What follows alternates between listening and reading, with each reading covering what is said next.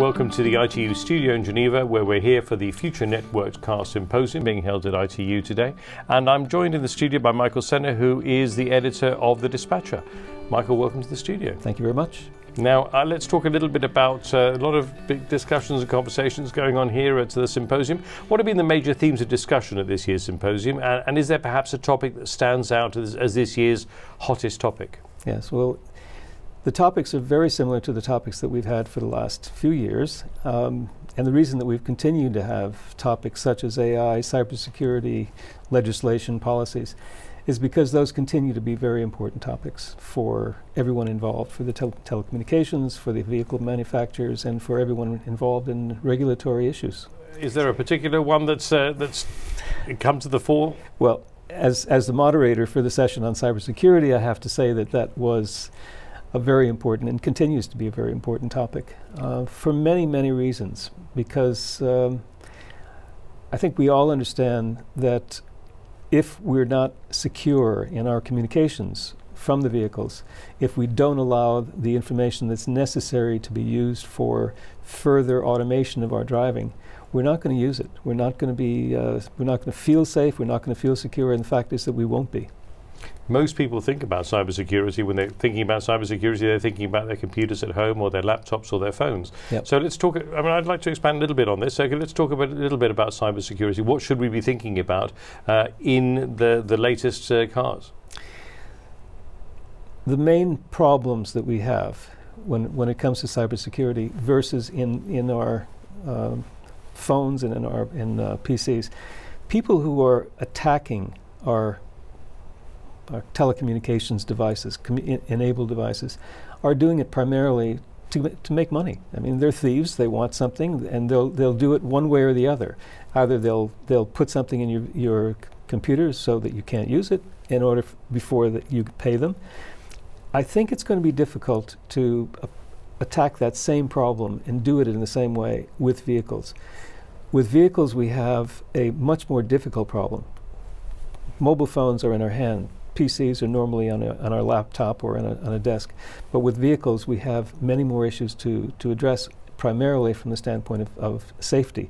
Cars can be hijacked in order to, to earn money, but something else can happen when that's, that's uh, occurring that creates a, an unsafe situation for the driver and, and people around. I mean, we can start driving cars without drivers into lots of people, and many people can be injured. So I don't think it's the same issue of being paid money. It could be terrorists, primarily terrorist attacks, or individuals who are, are acting as, as terrorists, not political terrorists, but as, as terrorists from, a, from another st uh, standpoint.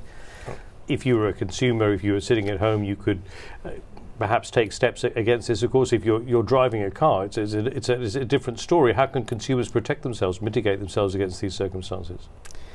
If if the vehicle has been designed in such a way that it's open to attack, that someone can take control of that vehicle, there's nothing you can do as a driver. You have absolutely no control of what's going on in internally in a vehicle. That's a very different situation than you can't pull the plug out. If you're driving the car, even if you turn the key off, the, the car is still moving. If someone has taken control of the car, you have absolutely nothing to do with it. So it's a, it's a very different situation. That's why we're taking such long, such a long time and great care before we turn over any of the driving tasks to a non-human. So is ITU, UNECE, are they contributing to the, this uh, this conversation? Tell us a little bit about uh, yeah, the steps a, that are being taken. Yeah, it's immense.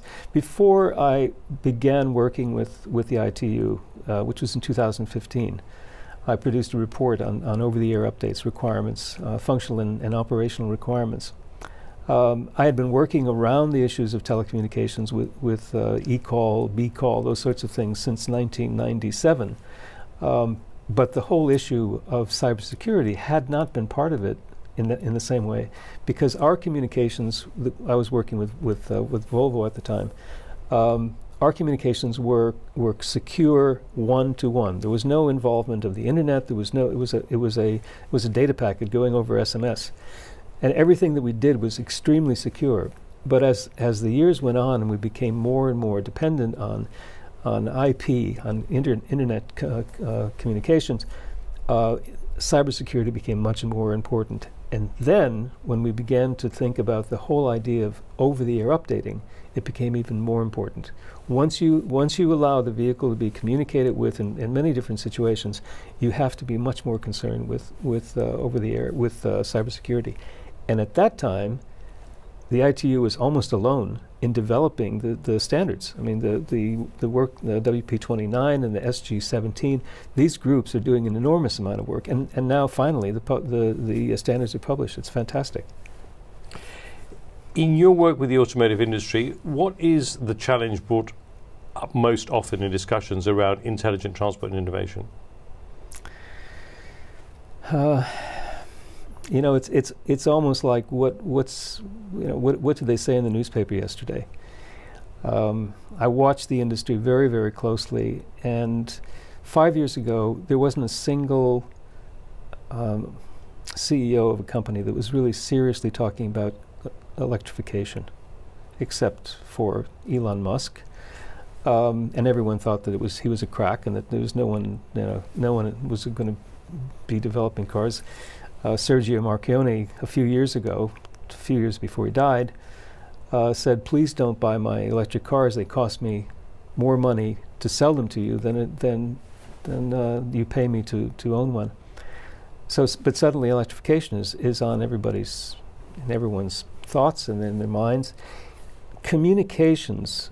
The, if you if you mention communications to a CEO, it's it's almost as if they're they don't really want to talk about it because because connected cars have never sold cars. They've never, you know, it's not something that you you walk into a to a um, place to buy a, a, a, dealer, say, you know, I want the most connected car. It, it's on the list. It's things something you think about, but it's it's the cost. It's the space that you get. It's the you know, it's what you can afford, the best car you can afford for the money, the size, the quality, and so on, and then the image that you you don't you don't walk into a BMW dealer if you can't afford a BMW, or somehow you can manage to pay the monthly rent on a, on a lease. Um, so the things that we think about, the things that we're working on, are really not they're not top of the list for the folks who are running these companies. They look at how am I going to sell the most cars? What's going to, what am I going to be able to put in my cars that makes them sell? And now, because everything is, is the governments have gotten behind it, good or not, I'm, I'm not a, a big fan of, of electrification. Um, for many reasons, not the least of which is that we, we don't save that much energy and pollute less with, with electric cars. Uh, but now, because there's so much, so many thoughts and so many regulations, and we have plus and minus and so on for, for insurance, people are now talking about electric cars. Um, when we get to the point of cars actually being able to do more than they can do as far as self-driving, the car companies will begin to put more thought into it. They're putting money into it. They're, they're actually putting a lot of money but a couple of years ago, it was much more on the top of the list. Now it's much more on the sort of middle to bottom of the list. It's not, it's not the highest priority anymore because it's gotten too hard. They realize that it's not going to happen tomorrow, and it, we're not going to sell cars because of it. Because of regulation? Because, well, because the, it doesn't work yet. I mean, it doesn't, the, the, the self-driving cars are not self-driving. And even if Elon Musk thinks he's selling cars because of that, he's selling cars because especially in Norway, because people can't afford to buy anything else. They get so many rebates and so many so many kickbacks that they you know they can't afford not to buy a Tesla.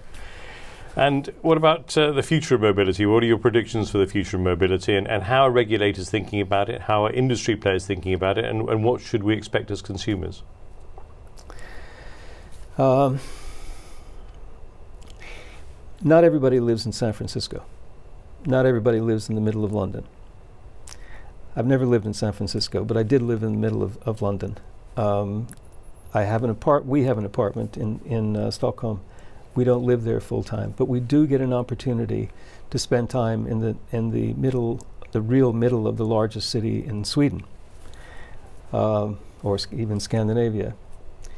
It's a very different proposition than living in a small city, a small town, 80 kilometers west of of uh, Stockholm, or living in a, in a small village in the north of, of uh, Sweden.